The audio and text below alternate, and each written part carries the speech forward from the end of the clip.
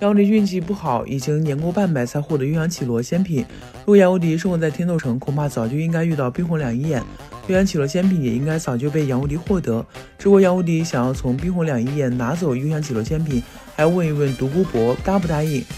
虽然这冰火两仪眼对独孤博没什么用，可是独孤博可是把这里当做秘密基地的，可不会让杨无敌自由出入。杨无敌的实力和独孤博应该差不多，独孤博的毒对杨无敌应该没有太大的效果。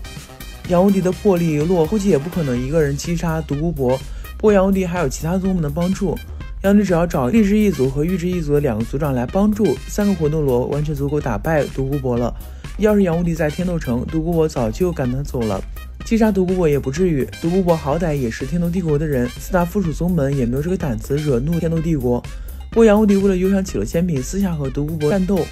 把独孤博赶出冰火两仪眼也是非常有可能的，而且冰火两仪眼有那么多仙草，杨迪要是知道这些，必定是不惜一切和独孤博战斗。